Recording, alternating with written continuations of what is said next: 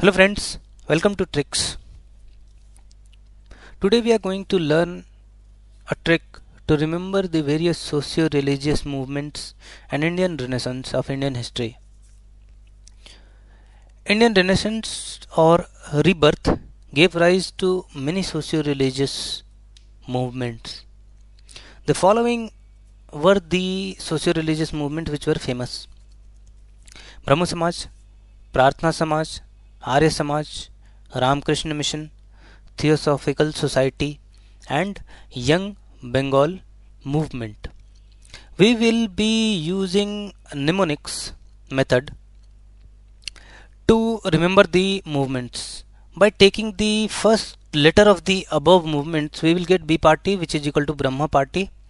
So you have to remember Brahma party look brahma samaj is generally uh, remembered so brahma party will be easy to remember where b will stand for brahma samaj p for prarthana samaj a for arya samaj r for ramakrishna mission t for theosophical society and y for young bengal movement you can subscribe to our channel for further such videos till then see ya